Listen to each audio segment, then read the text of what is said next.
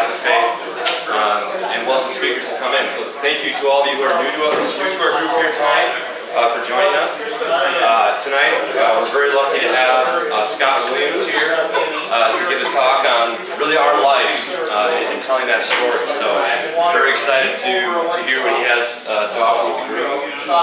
Um, so Scott is originally from, from Indianapolis. he was born and raised there. He's been there, there his whole life. Uh, I didn't ask where he went to school, if he did go to school. Um, but I do know that just recently uh, did find a position employed with the Archdiocese of Indianapolis. Um, and he's a program coordinator. Um, and he's brand new position, so he's, he's loving it. He's living close to downtown. Uh, he's having a great time. Uh, so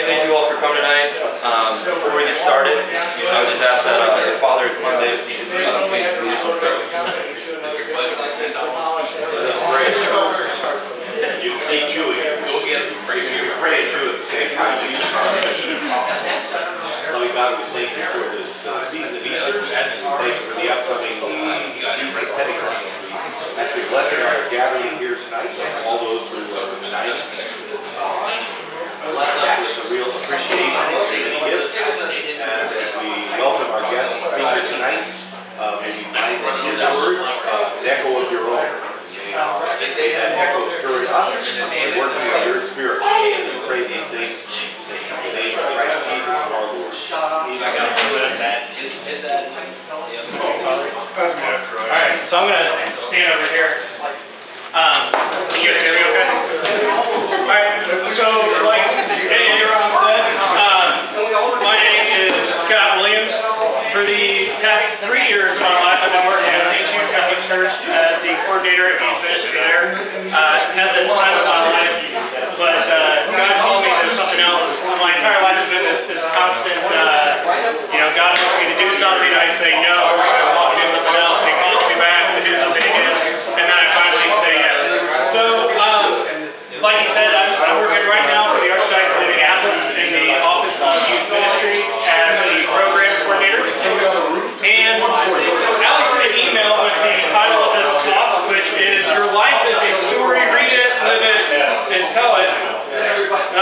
her back I said, what does that mean? What do you want me to say?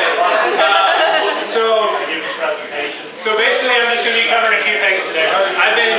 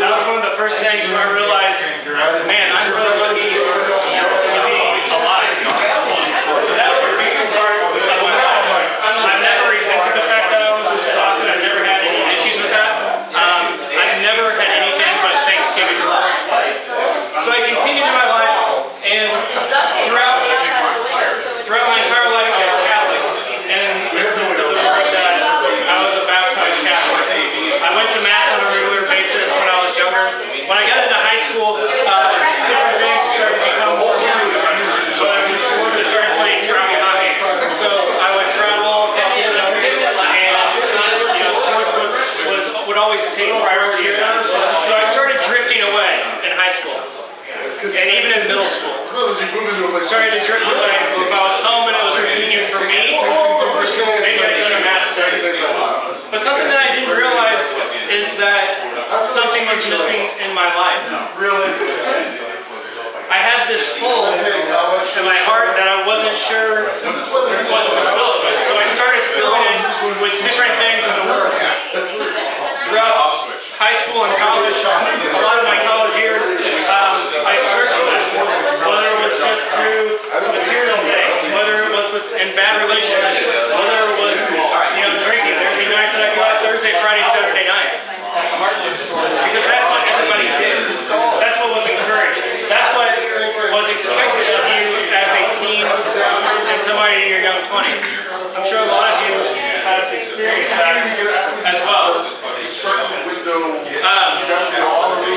but then, throughout my college career, somebody uh, eventually invited me to a young adult mass, which was was kind of exciting for me because I still kept the, the title Catholic. I like the idea of being Catholic, but I wasn't sure exactly why.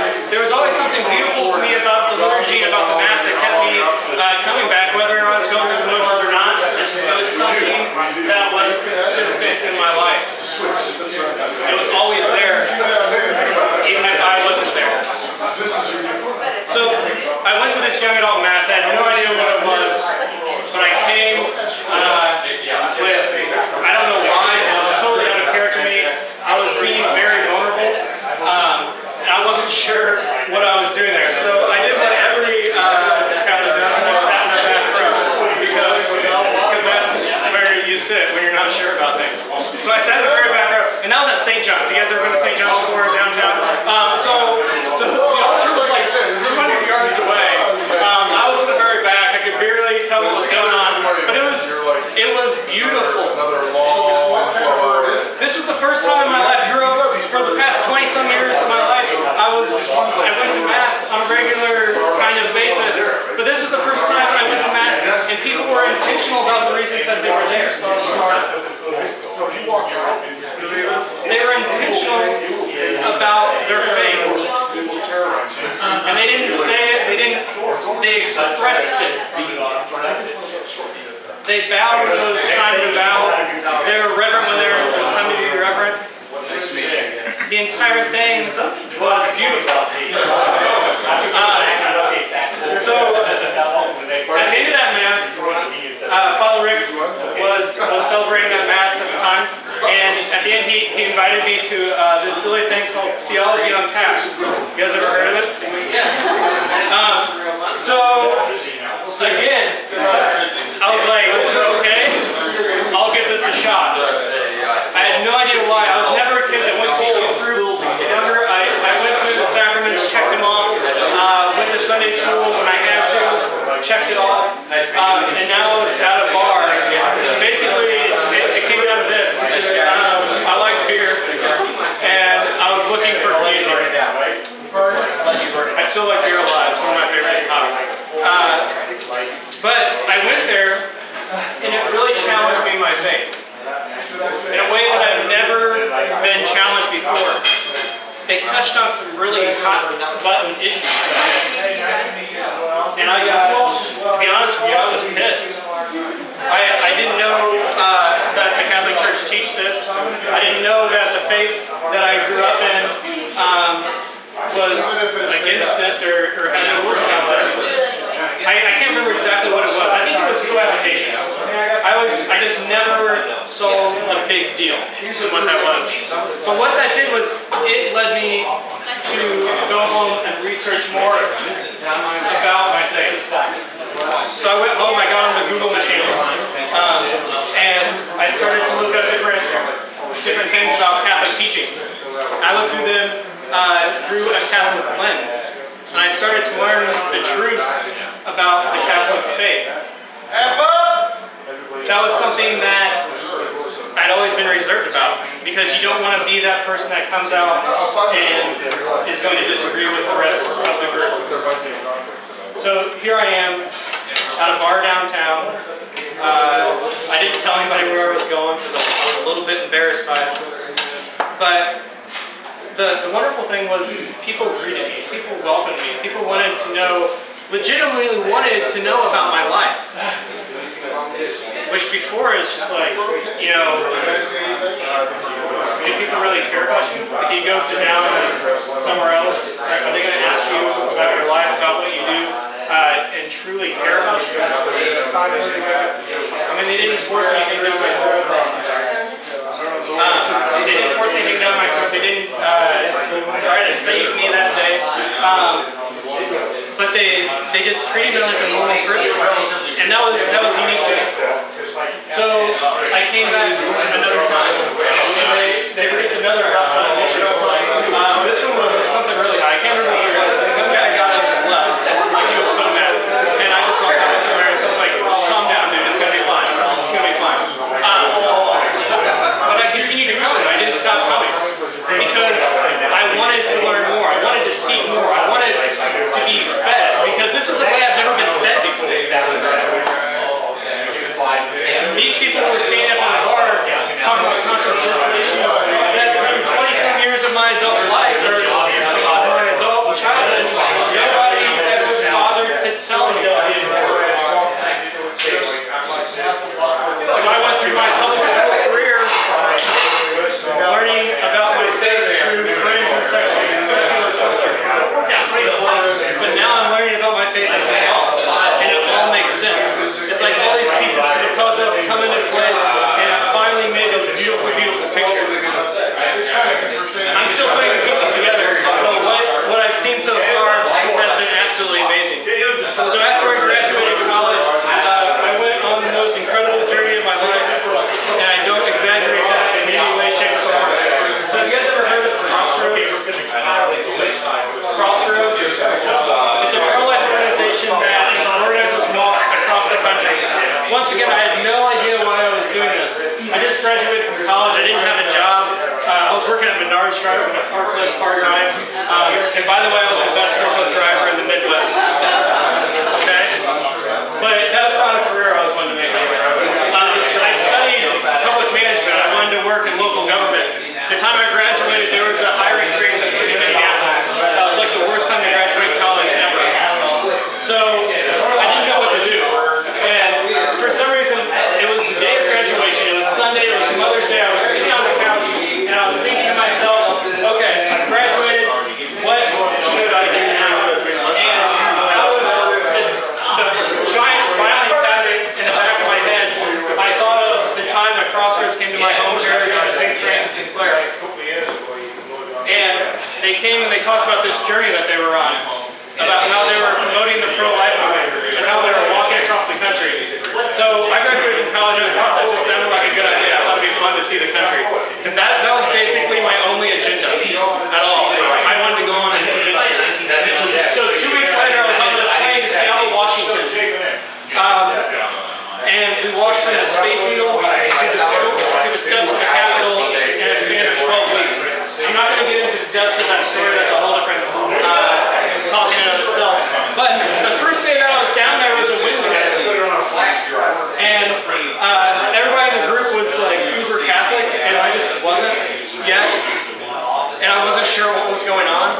Um, and they were like, come on, we're going to Mass. And I was like, it's Wednesday. Did somebody die? like, why are we going to Mass on a Wednesday?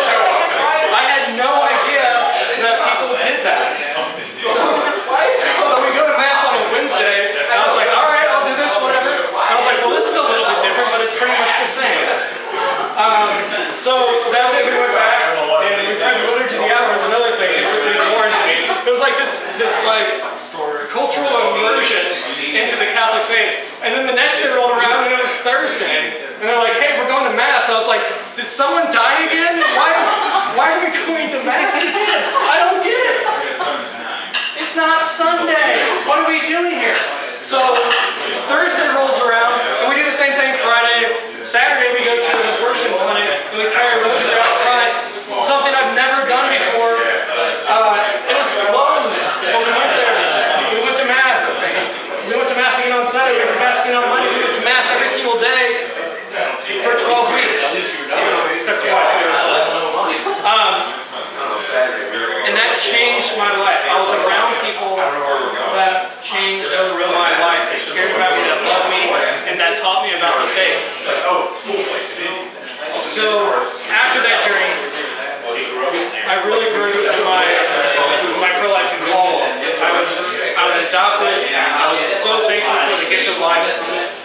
But then when I got home, I still didn't have a job. There was no job waiting for me when I got home. It's weird like that. If you don't go and interview and you don't do anything proactively to get a job, you're not going to get a job. Um, so I go home and for like the first three days, I just sat at home and like watched The Price is Right and didn't really do anything because I don't know, because I walked across the country and I felt like I deserved it. But but the next day I was like, something is missing. Something is missing in my life. And I realized that it was Mass. It was the Eucharist. So if you receive the Eucharist for 12 months and then you go a few days without, you're going to realize that there's something missing in your life. And that's what I was missing my entire life was the gift of the Eucharist, the gift of the sacrament. Because it is so,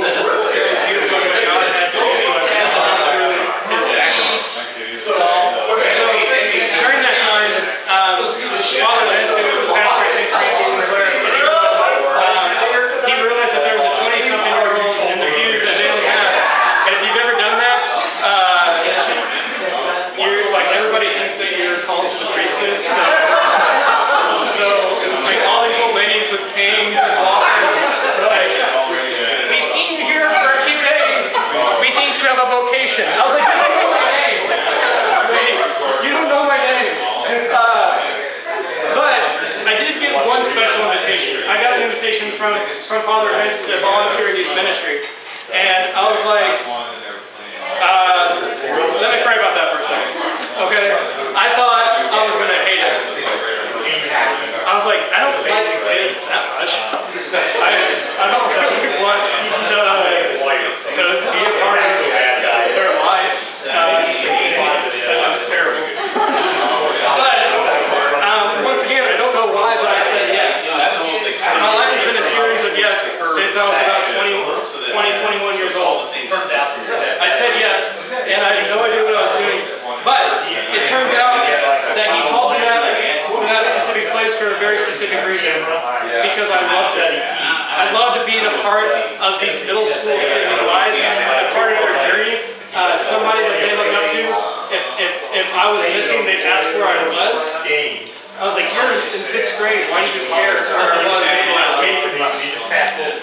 But it was beautiful. So I did that for a year, and I decided. Um, at, at that point, I was selling booze for a living. I forgot to mention that. Uh, I, I worked for Monarch Beverage. I was a, I was a, a wine salesman. It was a great job. Don't get me wrong. Uh, Monarch's a great company to work for. But I was I was tired of being in sales. I've been in retail my entire life. Um, I don't love it. I'm kind of good at it, but I don't love it. So I started looking around. I went on a I went on a young adults retreat that year, and there was a lot of teachers there, a lot of Catholic school teachers. And I got to talking with them a little bit, and I was like, "You guys got the life. You get summers off." So once again, I went into something for the wrong reason. I was like, I, wanna, I think I might want to be a teacher because they get summers off and they can travel and, and do all sorts of fun stuff. They don't have to work six days a week. So I got on the Office of Catholic Education website and started looking at like what you have to do to become a teacher at a Catholic school. And I came across this job in youth ministry and it was like this like fireworks went flying in the air behind my computer screen. I am I making a vision for you because I don't know what this is. Um, so so I, I see this and I apply for it because I was like, I would absolutely love it. I would be excellent at it. This is right up my alley. Um, I go to an interview and I went to World Youth Day. I come back and I had a job. And then I was working at St. Jude for the past three years. It was a wonderful, wonderful ride. Uh, I got to be a part of people's lives. I got to talk to them on an everyday basis. I got to know high school and middle school kids um, like they were my own. And it was absolutely amazing because I got to see God work through so many young people. A lot of times people think that the people that we minister to, it's all about uh, the kids that we minister to. But I know Dana can testify to this, that they give us as much, if not more, probably more every time that we give them. To see the way that God works through the young people that He brings to, to His church is so dang beautiful. I'm kind of putting all my eggs in one basket with this whole Catholicism thing. I fully believe uh, in God. I fully believe in the faith where I'm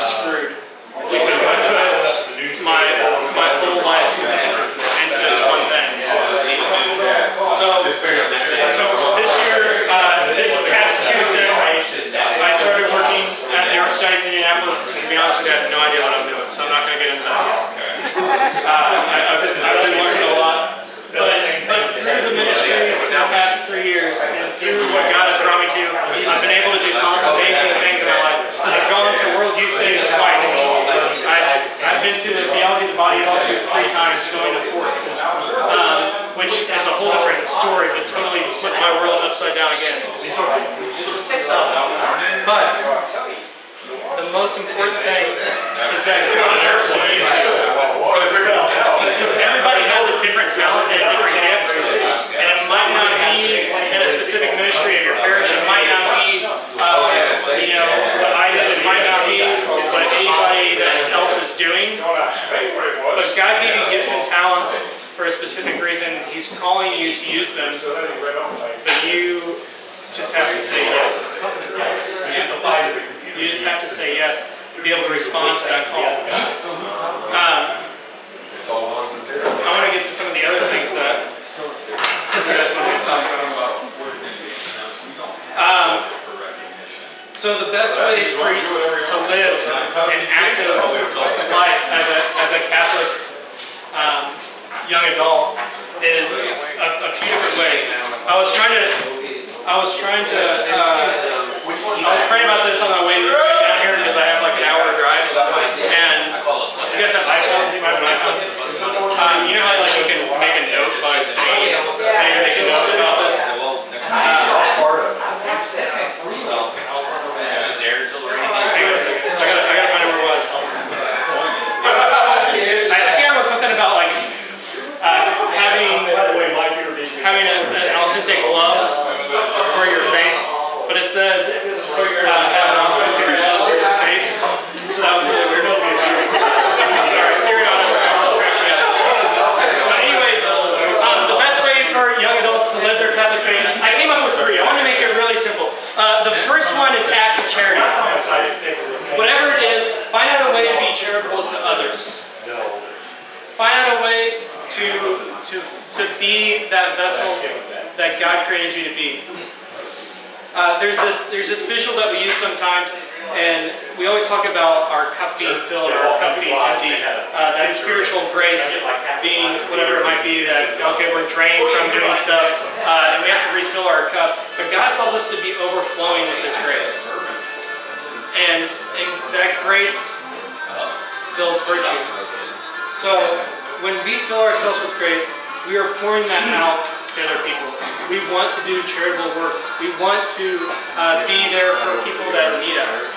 And like I said before, that's going to be different for each and every person. Maybe it's going to uh, a food pantry. I don't know what you guys have here in Columbus, but I'm sure there's opportunities to volunteer. You need volunteer, I'll see Father. I've never seen an Irish pirate. The second is community. I don't know if you guys noticed this, but every aspect of my faith journey had some sort of community in it.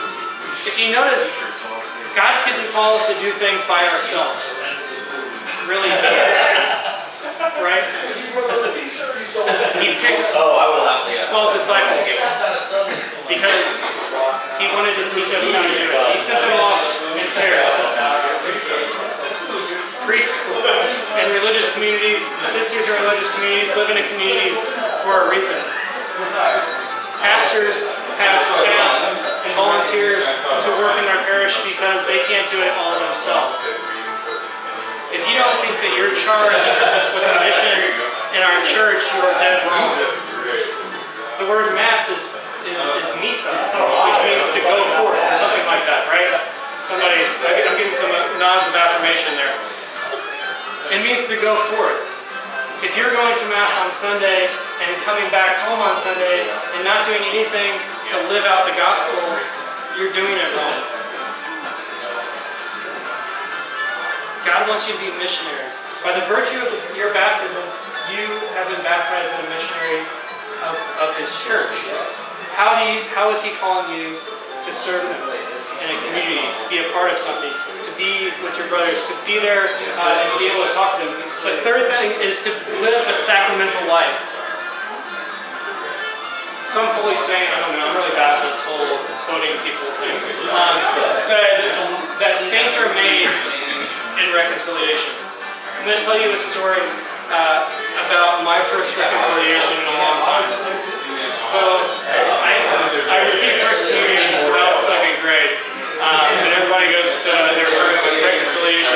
Uh, and then myself, and I'm sure other people, wait like forever to go again. I was one of those guys. So I came into the confession, I was said, forgive me, Father, for I sin. It's been 14 years uh, since my last, whatever it was. It was a long, long, long time. I was embarrassed, but everybody was doing it. So I felt like I needed to. I was with a group of people, and they're like, let's a confession. I was like, yeah, I do that all the time. Let's go. I just didn't know how to do it. So, so we, we, we go, and I, I'm just sweating bullets, uh, like as, as the line gets shorter. And I walk into this confessional, stumbling over my words, uh, like already sobbing. Uh, and I, s- I- I told him it's been 50 years since my last confession, and and he, he sent some simple words to me. He said, "Welcome home." And and that was something that I, never felt before. I never felt like uh, that this was a home, this is a place, this is where God to be, living this life, staying close to the sacraments. Staying close to the sacraments will build great life virtue. Very good. Five years from now, designer you. I think we're doing pretty good. So how do we witness to others without being uh, overbearing? I think this is a difficult topic for a lot of people, right? Because different people do it. Come on in, brother. So different people do it um, um, different ways. But I think a lot of times it's pretty simple. It's pretty simple. I was I was in a, in a book study this this morning, um, and and we were talking about the way that that we evangelize to people. And we started to look at ways that Jesus evangelized to people, and he took a lot softer of a route to doing so. If you think about the road to Emmaus story, um, at the end of that story, it says that Jesus uh, acted as if he was going to continue walking, and he waited for them to say, say, wait, where are you going? Um, when Jesus was walking on the water, it also says there it looked like Jesus was going to keep on walking. And I don't know what he was doing. It felt like he was just strolling in the ocean that day and wanted to just walk around on the water. And he was going to be away. He waited for Jesus to say, come, I need you.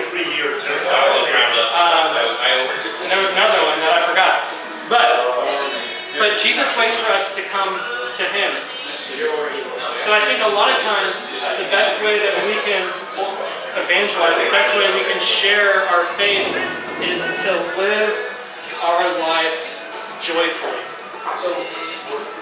Holiness is contagious. I don't know if you know that or not. Going back to my very first point of my reversion to my faith, it was contagious. I wanted to be the same as them. If you live your life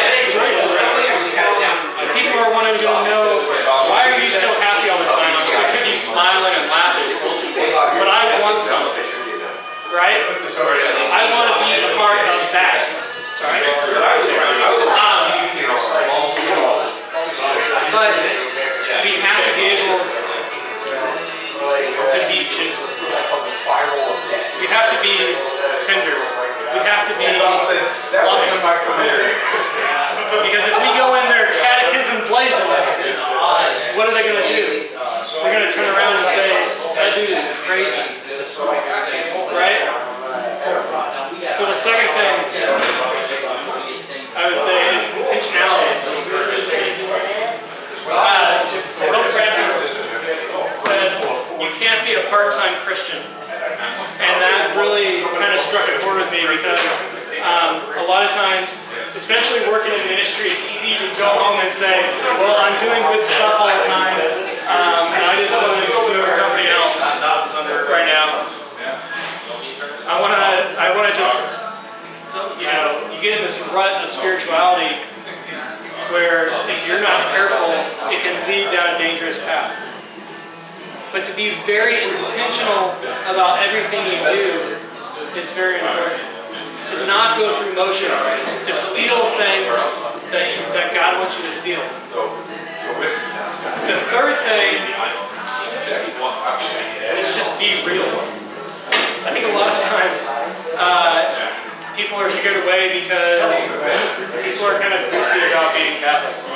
Like I just try to be a normal dude living uh, a Catholic faith. If you are you, another holy saint said this. Uh, I'm really good at this.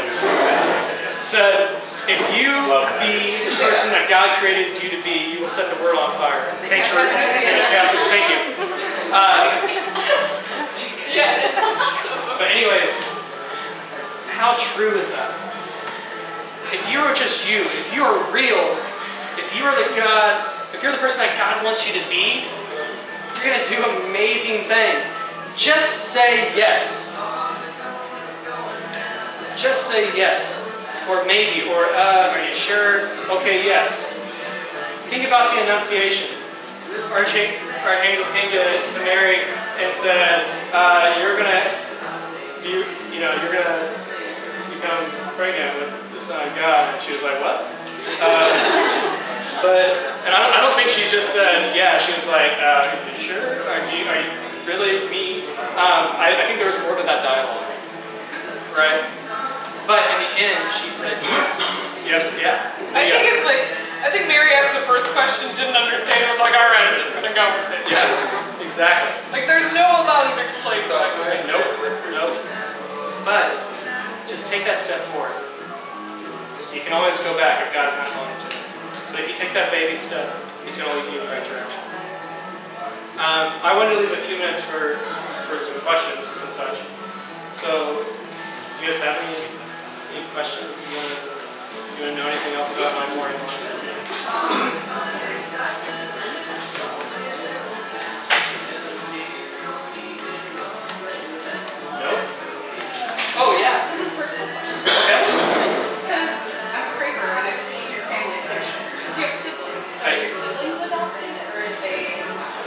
Um, I have one brother, and the other lady is my sister-in-law. They got married. That's how that happened. Um, I, I actually don't talk about that because my my my adoption is something that I I um, talk about, but I don't feel like it's my place to talk about my brother's place. Um, and I, I actually I don't speak very publicly in my hometown town about it because you know that's that's their life and it's not my place to to you know intrude on because to be honest with you, when I was growing up, um, and to this day, my closest friends from elementary school and high school, maybe two of them know that I'm adopted.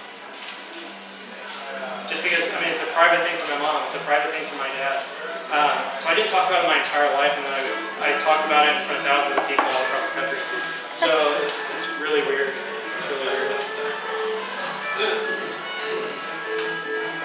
Any other questions? Yes, Does any, any teacher or any other person stand out in your mind as someone that you either wanted to emulate or somebody that, that maybe pointed you in, in a direction of being, you know, like is people business and people work? Yeah, um, there, I think there's a series of people, but it was all people that that are exactly that that I wanted to emulate. There was somebody um, on. There were two people on the on the crossroads walk that that continued to encourage me on the right path, um, and they were consistently had this authentic prayer life that I desired. They had this relationship with Mary that I didn't have. They had this relationship with others that I didn't have. And I wanted that. So there was there was one, uh, there was two there. One was a seminarian. He's getting ready to be ordained a priest uh, this month. And then uh, this other young woman that was, that was on the walk through that, that uh, really did that. And that was the beginning. But here in, in, in the hometown of Indiana, uh, Father Rick Nagel had a huge part in that because he was kind of the first person that uh, that was there, and you know he he really was the person I directed a lot of my questions to. So when things came up and I wasn't sure, I didn't have the right answer to it, that was the person that I went to.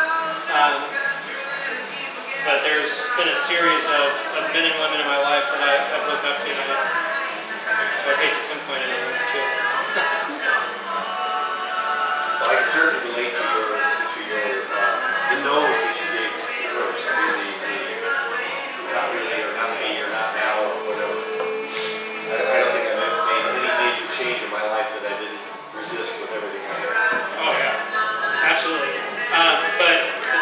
God, if God wants you to do something, He's not going to stop calling you to do it.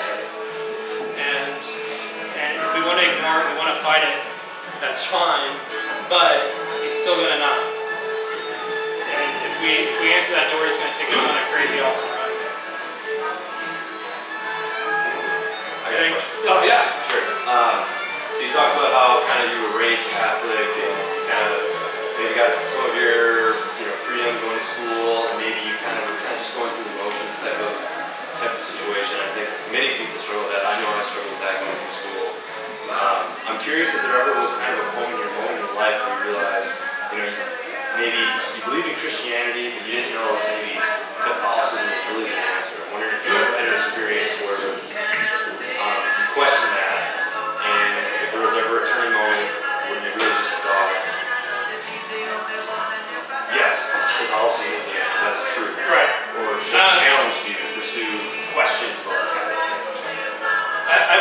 Twist to that answer because there there was a time that I wasn't sure about Catholic teaching, but I never said I wasn't Catholic. I had no desire ever to become non-Catholic or to join another another church, but I didn't have the right vision of God. I didn't have a personal relationship with God. I didn't see God as a person. I saw him a cloud with levers and buttons, just controlling the universe and seeing all and knowing all. I didn't see him as the person walking down the street with me um, and breaking bread with me. And that was the turning point in my life. When I realized that it's not about um, the God on the clouds, it's about the friendship of Christ. Does that help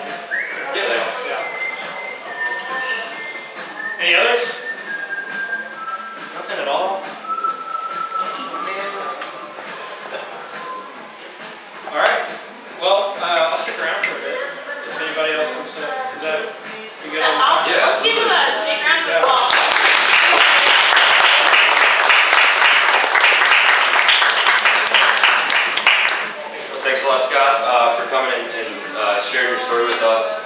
Um, I, really liked your, your comment about, uh, you know, really joy is contagious. And I, I can definitely relate to that point in my life where, you know, you, you you get involved with a, a small group of people that you know just get it. And you, you just, you notice how happy they are. They're always smiling. And it, it creates kind of a hunger inside you that I, I want that. And uh, I, I just want to say I really related to that. I thought that's that, that's very true. We're all called to to be that that vessel, to be contagious. Um, just be happy people. You know, it, you can't be Christian and, and, and unhappy. That, that does not spread well to others.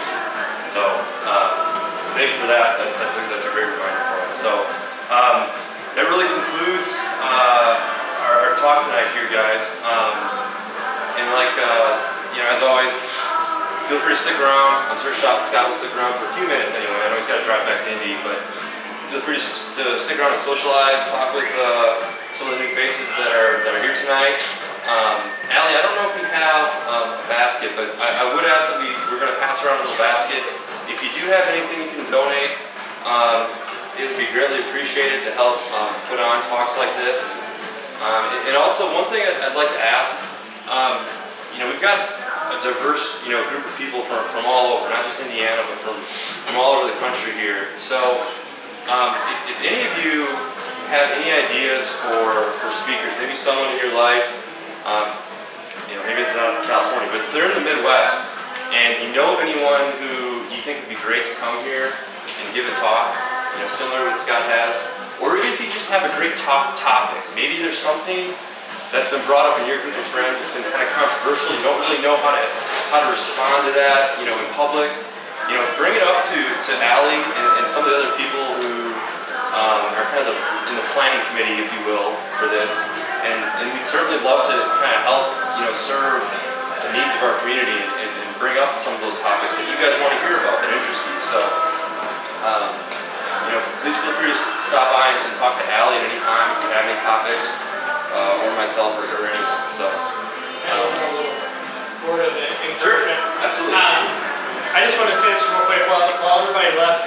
The Theology on Tap is an awesome tool of evangelization. That was my number four to my number three. Um, it, it had a huge impact in my life, but it can be huge on the people that are in room. So don't think of it just as a social group that gets together at, at a bar, at the Columbus Bar, but you being here, being this witness to everybody else, uh, you're evangelizing to all these people that were sitting behind her, the waitresses that are coming through, everybody. I've seen it happen. When I when I started going to Theology on Tap, uh, I wanted more, and I ended up being on uh, the planning committee for the past five years because I believe in the mission. I believe in uh, what it's all about. So don't necessarily underestimate coming. It truly is uh, very, very important. Sorry. Just wanted to add that. No, great. Thank, thank you very much. You're absolutely true. And it, it's and it is it's kind of and I really appreciate you know Scott dealing through that because it is kind of a loud environment too and it, sometimes I'm sure it's very difficult as a speaker talking about some of these issues in front of public but that's that's evangelization that's I, I just applaud the encouragement of our speakers that come here and do that um, just at CB here so um, so Allie do we have any announcements I have one the other thing. In two weeks, Father Doug is going to be coming. It's Ask a Priest. And so I brought some little cards. If you're not going to be here, even if you are going to be here, if you want to write down some questions, um, you're more than welcome to ask when he comes. And we'll it'll just be a dialogue between Father Doug and everybody that's here. But if you want to write down some questions, please feel free to do that kind of along the lines of topics you're all interested in, just those burning questions that you want to ask a priest and you want to get a straightforward answer, just here this environment. So feel free to do that. Just don't ask him what his most interesting confession was. I do have to ask Or, or the most boring confession. You have any Most boring confession? Okay. Uh, did we get the results from the, the, the beard? Shave or no shave? Yes, the- the beard was saved. The beard was Uh, saved. He trimmed it, uh, but, uh, yeah, it was saved. Okay, alright, that's good to hear. Those of you who don't know, Father Doug uh, had a little fun going on where you basically vote by monetary voting and uh, to keep his beard or to. But I guess it'll live on. So maybe we'll see that in two It weeks. raised nearly three thousand watt. That's incredible. So, So that beard is worth something. great. So, anybody else have any last closing comments? All right, feel free to stick, stick around. Um, make sure when you close out, tip our tip our waitress. Um, be generous. Appreciate them hosting us here. So um, please be kind and take care of them. So, Father, would you mind closing just in prayer here with us? Oh, why don't we pray in the way we learned from Jesus himself? Our Father, who art in heaven, hallowed be thy name. Thy kingdom come, thy will be done, on earth as it is in heaven. Give us this day our daily bread, and forgive us our trespasses, as we forgive those who trespass against us. And lead us not into temptation, but deliver us from evil. For thine is the kingdom and the power and the glory forever. Amen. May Almighty God bless and keep you all. God who is Father, Son, and Holy Spirit. Thanks a lot, guys. Appreciate it.